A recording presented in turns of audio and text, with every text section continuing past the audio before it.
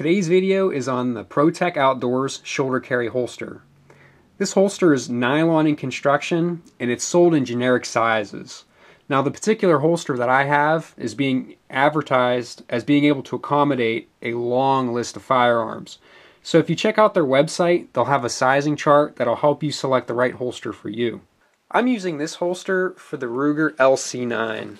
And the holster itself retains fairly well, has decent retention, and it also has a really good thumb break.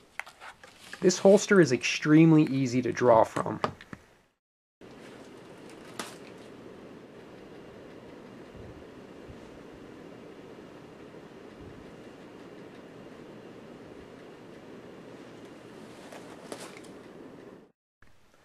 The rig itself is fully adjustable and it will also accommodate both left-handed and right-handed shooters. Switching can be done in seconds. You just undo four clips and then you can swap the holster and mag carrier. The rig that I have will suspend the firearm horizontally, but you can also purchase these holsters with rigs that will suspend the firearm vertically. For me personally, I prefer the horizontal draw. For me, it's just easier, but that's a personal preference. Take it for what it is. Now the mag carrier is a little bit large for this size of firearm in the type of magazine that you're going to have. In the case of the LC9, it's a small single stack magazine.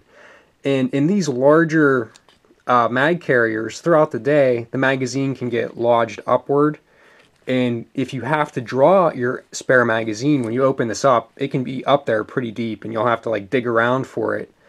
Uh, what makes this easier though in my particular case to draw from this mag carrier is that I use the grip extension.